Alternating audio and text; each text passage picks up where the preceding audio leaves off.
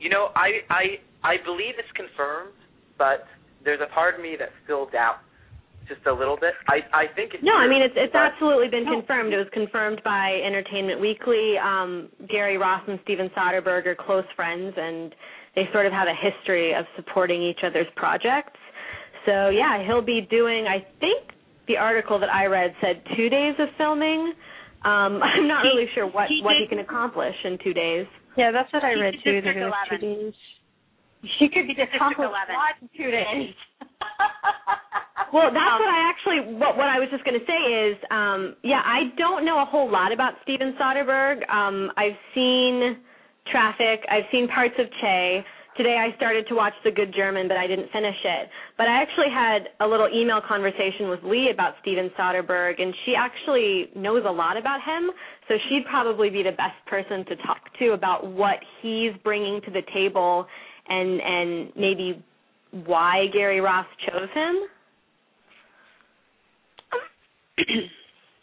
I guess that's kind of my cue to to say something now. Yes, yes. On the spot. Okay, so let's talk about Mr. Soderbergh. Okay, well, we know that they're close friends. They have done, uh, you know, they they've collaborated before, where one was the producer and one was the director of, uh, I think, three individual films, maybe four. Uh, so, in terms of just uh, the the dialogue that happens between two people making a movie, there's going to be a level of shorthand that happens between them. And Soderbergh himself is really, really fast. I think as a second unit person and just to kind of orient people as to what a second unit director is. Second unit is usually the guys that come in, they shoot the stunts, they shoot uh, not the principal actors, while the, the main director and the principal actors are doing something else. But Soderbergh is also his own director of photography. So he's always going to be really, really fast because he knows about camera angles, where to place the camera, how to light a scene, how many setups he needs when he's making the film. So he's actually in two days. I was laughing because in his own way, I mean, he's just like he's like a quick draw. Like in the old west, he's really, really fast. So I think that that even for two days, it should be really interesting. I'm just dying to know what scenes he's going to be shooting and that that's um, been like the I went back through the book today trying to go figure out what section it might have been.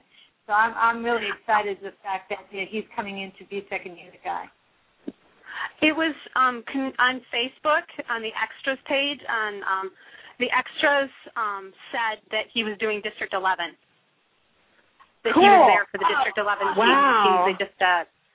So there was an I there was a couple of them saying that how it was amazing to work under him and um how well he would- how well he treated everybody and so that I mean in District 11 was 2 days of shooting so that I assume he was there both days.